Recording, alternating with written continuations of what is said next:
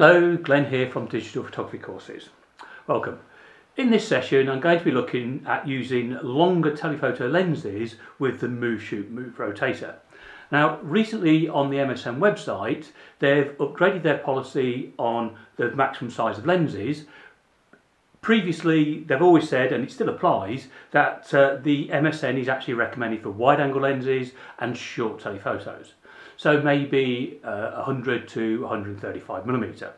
I know a lot of people use the Rokinon 135. Um, so what I've actually got here is I've actually got the uh, Tamron 16 to 300 millimeter lens and this is something I use quite regularly for sort of deep sky objects and that type of thing. So if we just take a look at the setup, what we have is the, um, the MSM Alyn Wallace uh, Z platform. You could just as easily use the V platform, that wouldn't be a problem. The MSM, we've got a Manfrotto ball head, and on the top here we have got a focusing rail, a macro focusing rail. So if I just spin this whole thing round for you, just so you can see it from the other side, I'm just lock that off a second. What you'll notice is with these rails, we can, this is the lock, the small one's the lock, we can undo the lock and we can move this forward and back so we can change the centre of gravity. Okay, so we can move it quite well back if needed. And then we can lock it off. Now, the other thing we've got here is this piece of white foam. Now, this is really quite useful. What it actually does is it takes out any flex between the tripod base and the rail and sort of gives it a bit of extra support. But also what it does is this is the focusing ring. And so, and this is the zoom ring. Now, one of the problems that zoom lenses can have is, particularly if they get a bit worn, is they can have what's called lens creep. And so lens creep is basically where the lens shrinks as you point it up or it expands out as you um, sort of point it down. You often find if you carry the lenses, the lens gets longer. And a lot of lenses, this one included, has actually got a lens lock that locks it in the closed position. But of course it does not lock it in the fully open position. So this little bit of extra pressure on here is really useful just for stopping that lens creep. The last the last thing you want when you're doing your sort of deep sky objects is to come back after half an hour or an hour and find that you were at 300 and now you're at 200. So not a good plan. So while we're here, the other important thing, of course, is we need to switch this lens to manual focus and we need to switch off the image stabilization. And I have to tell you, Many people I know forget to switch off the image stabilization and then what will happen is you'll actually get, uh, your stars won't be pinpoints, they'll actually get sort of movement caused by the anti-shake mechanism in your lens. So please remember to switch that off. So let's have a look at how I would use this setup. So let me just spin it round because my orientation is I have north in this direction and generally speaking my targets are in this direction. So the first thing I would do is get everything level.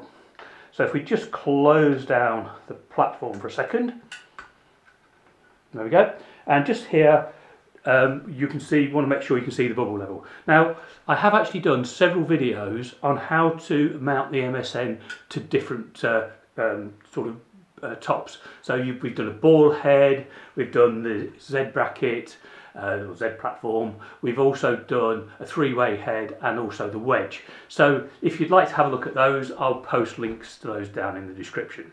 So the first thing we do then, we've got the laser on board here. What I suggest you do is make sure that your bubble level is, um, is centered and mine is, I've done that. Uh, now because we've taken the, the, the sort of this, the platform is directly on the legs, then what you'll probably need to do is alter the length of your tripod legs. So next thing we need to do is we need to get the direction. So what I'm going to do is just uh, tilt this up very slightly and lock it off. The purpose of doing that is it just gives me access to this uh, rotational screw and then looking over the top. Now what you can do here is if you just tilt your camera forward you can actually look across the top of the lens and the tripod um, or the hot shoe and just use that to kind of get yourself lined up in the right direction. And we can lock that off, not super tight at this stage. And the next thing we need to do, of course, is we'd have the laser switched on and we now need to uh, do our elevation. So with the laser on, we do our elevation, in my case it's around about there, lock that into position. Now at this point, obviously you do a quick final check on everything. At this point, just go round and just double check everything is locked. You don't want this rig moving once you get going. So everything locked off, pointing at the north or south celestial pole, and so the next thing we need to do is go and find our target. So in my case, that's often as I say Orion or something like that.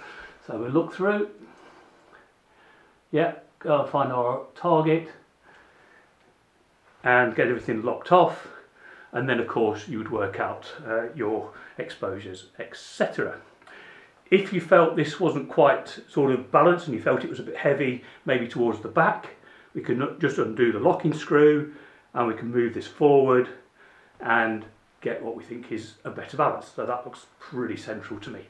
Okay so using this setup 300mm lens uh, this is actually a Nikon D7200 with this setup, I can usually easily get 15 to 20 second exposures. Um, with this lens, it's not brilliant at its widest aperture, so I tend to stop it down to around about f8, and, um, and that leaves me using ISOs of around about sort of 800 ISO, maybe 1600. If I'm shooting a Orion, I'm always careful not to burn out the core because it's very easy to do. So uh, yeah, so using this setup I can get sort of 15, 20 second exposures. I have actually done exposures at 30 seconds without too much trouble, but you will probably end up throwing a few more of those away because the size might not be totally pinpoint.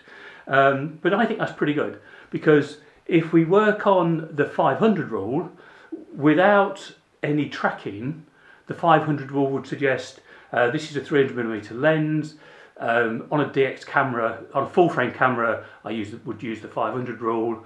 Uh, on a this type of camera, on a DX camera, I tend to use the 300 rule. So if we go 300 into 300, that is one second. So you can see without tracking, the best you would get is probably one second. So if we're getting 15, 20 seconds, that is pretty good. That's 15, 20 times more than you would get without tracking. So good little system, works really well, and this is my sort of certainly go-to uh, travel setup, and it all slips nicely in the bag. So, thank you for your time. I hope you found that useful, and I'll see you again soon.